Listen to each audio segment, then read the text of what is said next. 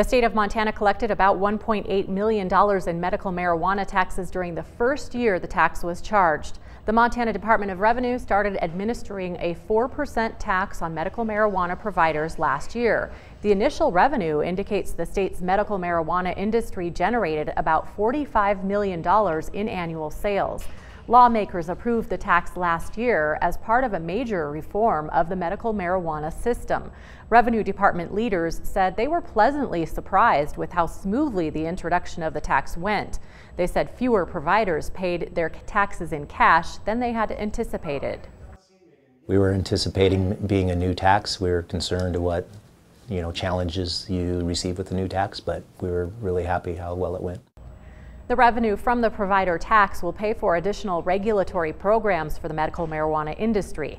As of July 1st, the tax has been reduced to 2%.